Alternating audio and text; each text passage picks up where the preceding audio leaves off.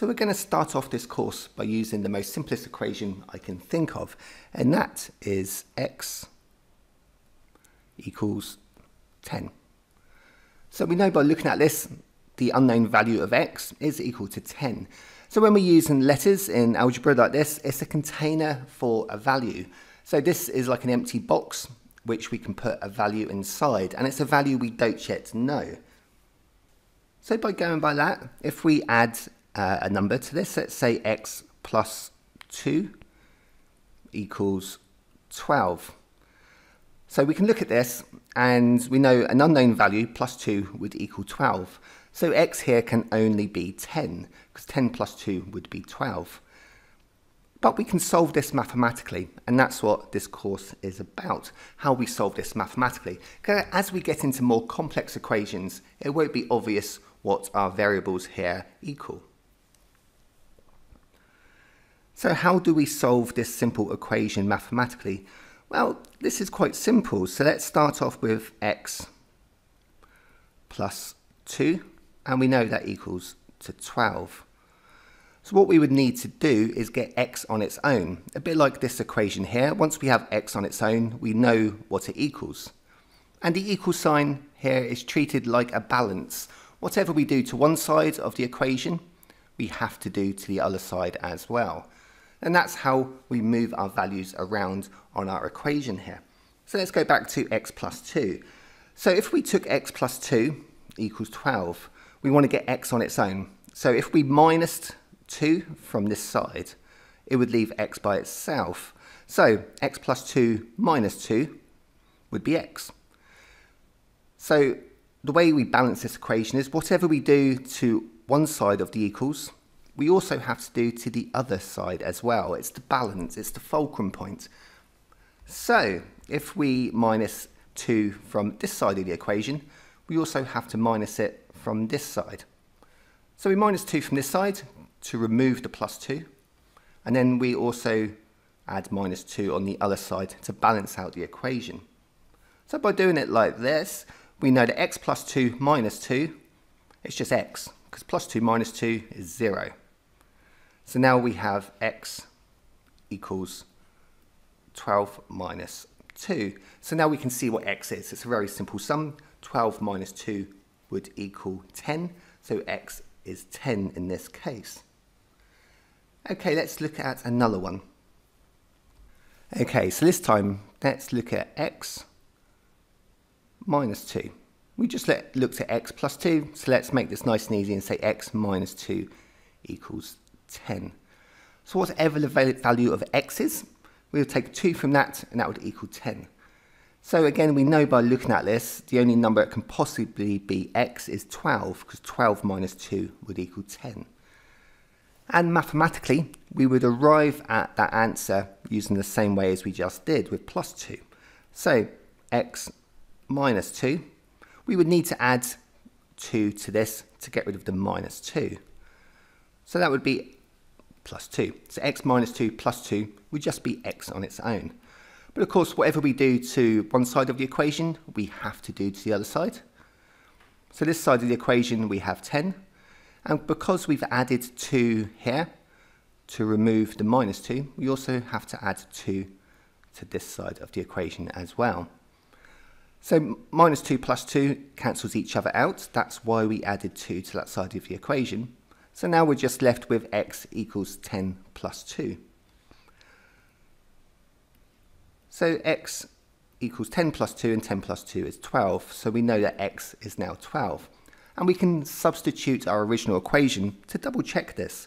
So let's say this x here, we pop the value of 12 into there. And now we do this equation to see if it works. So 12 minus 2 does in fact equal 10. So that's how we check our workings out with equations. So it's very good to know that once we've finished our equation, to make sure that we know it's right and it worked, we can just go back and substitute the values that we found into the original equation and see if it balances out. And it's all about balance the equation because the equal sign here, as I said, is the balance symbol in equations. So whatever happens on one side has to happen to the other side to balance it out. So that's the point of linear transposition of equations. We're trying to get the unknown subject on its own, and that would equal a sum. Then the answer of the sum would give us the value of the unknown subject, so in this case x. Okay, so that's dealing with plus and minus. Let's look at uh, multiplication. Okay, so this time let's look at x times 2 equals 10.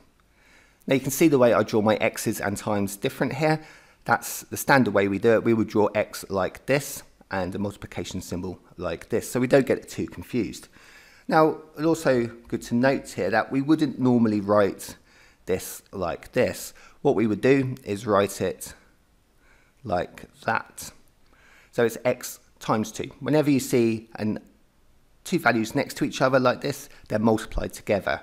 So if we were to see something like this, we would say a times b times c divided by 2.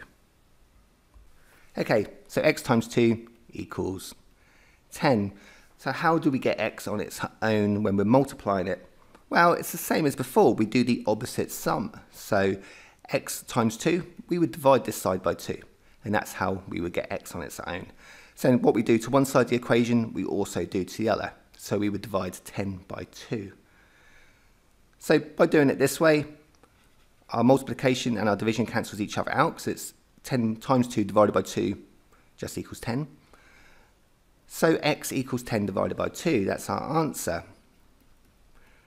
And it's acceptable in maths to leave the answer like that, or we can do the sum this side if we wish. So 10 divided by 2 would equal 5.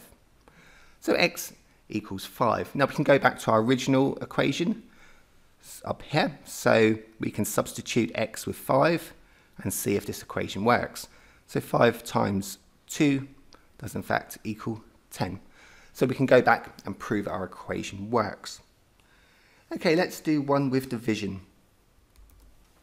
Now, like with multiplication, we don't use the times symbol. With division, we don't use the division symbol. What this symbol really means is that there's a number at the top here and a number at the bottom also. So what we would do is we would write our equation like this. So we would say x divided by 2 equals 10. So we take an unknown value and we divide it by 2 and that will equal 10 and that will tell us what x is. So on this side of the equation we have x divided by 2. So because we're using division we would use the opposite symbol again so we would times this by 2 and we would know that would equal 10 times 2. Now as before, these two 2's would cancel each other out, so they would not exist, because something divided by 2 times 2 is purely something, and something in this case is x. So x divided by 2 times 2 would leave x on its own. And because we've times this side of the equation by 2, we also do it to the other side as well. So this would leave us with x equals 10 times 2. So 10 times 2 is 20, so that would mean x would equal 20. So now we can go back to our original equation. I'm just going to write that out again here. So we would have x divided by 2, but we're saying x is 20, so we're going to test this. So we're going to pop 20 up there, and that's going to equal 10. So here we have 20 divided by 2, and of course 20 divided by 2 is 10, so it works out. So we've gone back and we've tested the equation to double check that our answer and our working out is correct by substituting our original equation with our answer. So at its very basic form, that is what linear transposition is all about. It's about getting the unknown value, or the x in this case, on its own, and then moving all the maths to the other side of the equation. So we make x the subject.